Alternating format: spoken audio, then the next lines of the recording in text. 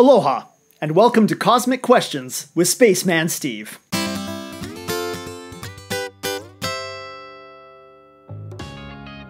Well, if we haven't met before, I'm an astronomer who works at the James Clerk Maxwell Telescope right here in Hilo, Hawaii.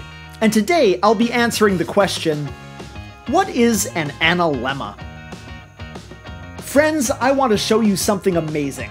This right here is called an analemma. It is one of the most challenging photographic endeavors that one can pursue. It takes incredible dedication and precise timekeeping. This particular analemma was taken by Jack Fishburn in 1998 and 1999.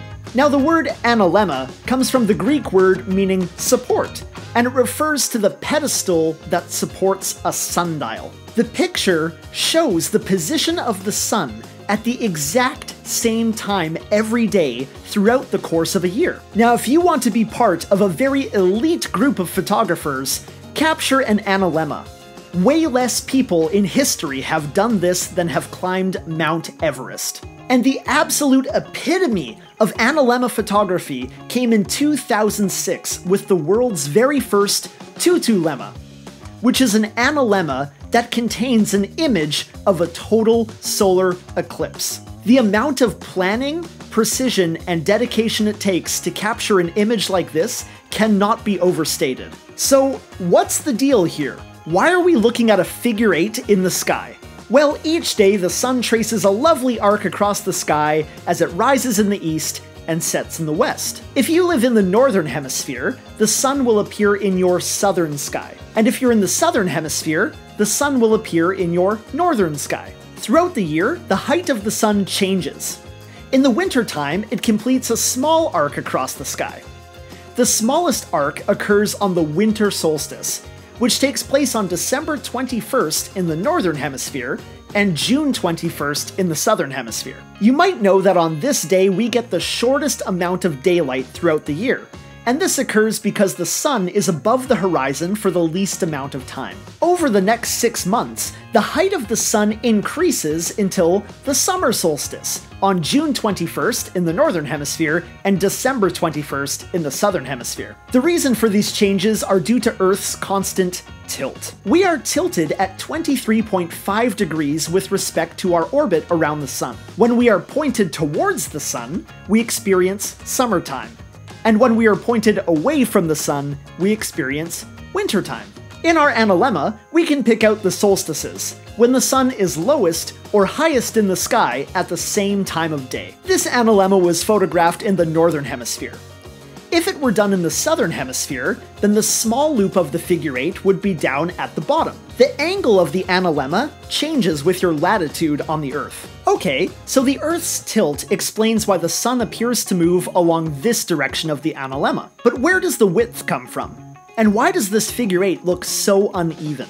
To answer these questions, you need to know a little something about how planets like the Earth orbit stars. So hold on tight, because in two steps, I'm going to teach you enough about Kepler's laws of planetary motion to make you super fun at parties. 1. The orbit of a planet around a star is not a perfect circle.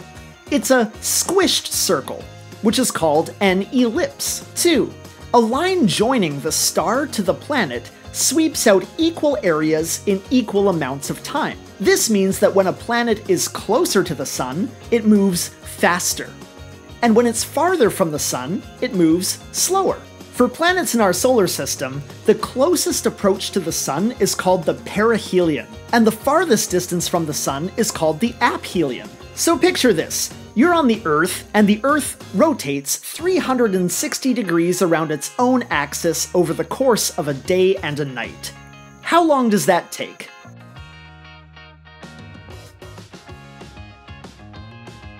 If you said 24 hours, you're incorrect. It only takes 23 hours, 56 minutes, and 4 seconds. The reason that we call a day 24 hours is because while Earth is rotating around on its own axis, it also travels a little distance in its orbit around the Sun. So, one revolution of 360 degrees does not actually bring us back to our starting position with respect to the sun. On average, we need an extra 3 minutes and 56 seconds to turn that bit more so we are facing the sun at the same time as we were the day before. But remember that since the speed of the Earth changes around its orbit, this is just an average. Sometimes we need a little bit more time, and sometimes we need a little bit less. Here's a fun thing to do to illustrate this point and to kill a little bit of time. Go outside on January 1st. This is near perihelion, when the Earth is closest to the Sun, so we are moving faster in our orbit on average. That means that we're covering more distance. So we have to add more than 3 minutes and 56 seconds to ensure that the sun will be in the same place in the sky at the same time as it was the day before. So go outside on January 1st at noon and drive a stake into the ground. Look at the shadow that's created by the position of the sun in the sky, and make a mark where the tip of that shadow lies. The next day, exactly 24 hours later, go outside and repeat the experiment, and you'll notice that the sun is a bit more east in the sky than it was the day before.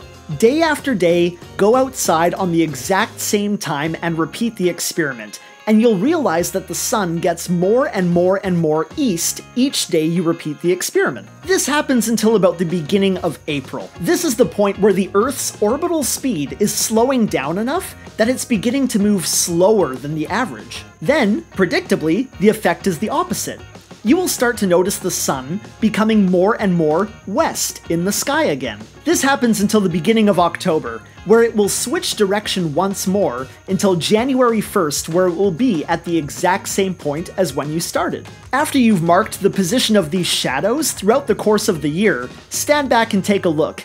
You'll notice that you've drawn an analemma on the ground. Timing is critical for this experiment. If you are off by even 15 seconds, it can make your analemma look wonky. Note that the equinoxes, when we get the same amount of daylight and nighttime, occur at the middle points of the analemma, and these angles are equal to the Earth's orbital tilt of 23.5 degrees. So the analemma is the path that our sun appears to take in the sky throughout the course of a year. The up and down bit comes from the Earth's axial tilt, and the side to side bit comes from the elliptical orbit that we have around the Sun. That means that different planets that have different elliptical orbits or tilts will see different analemmas. For a planet with no tilt and a perfectly circular orbit, the Sun will be in the same position at the same time of day all throughout the year, and the analemma would simply be a dot. For a planet that had a circular orbit and a significant tilt, you would get a perfectly symmetric figure 8. And if a planet had an elliptical orbit, but no tilt, the analemma would look like a line. For a cool case study, let's take a look at Mars. Mars has a similar tilt to the Earth, and an elliptical orbit. But its perihelion and aphelion are actually closer to the equinoxes, rather than the solstices like here on the Earth. This creates a teardrop shape, rather than the nice figure eight that we have here on the Earth. And guess what? Earth's equinoxes and solstices actually shift. They change date over a 26,000 year cycle. That means that we won't have this figure eight shape forever. So enjoy it while you can. Well, mahalo nui. Thank you so much for tuning in. Until next time, I'm Spaceman Steve.